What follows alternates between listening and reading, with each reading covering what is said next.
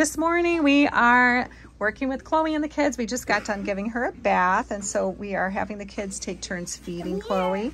Everybody gets to sit and give Chloe some treats. This will help Chloe get really comfortable with people handling her food and also helps the children get comfortable with Chloe coming up. Some of the kids pulled her hands away like they're afraid of her even though she hasn't done anything.